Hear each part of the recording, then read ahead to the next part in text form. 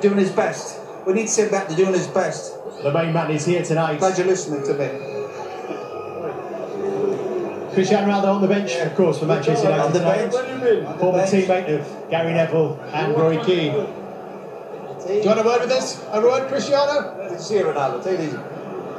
Perhaps not. Maybe later. Interesting. Uh, nice conversation with you, Jamie. Ethel. totally blank. Just like most people do. after a while.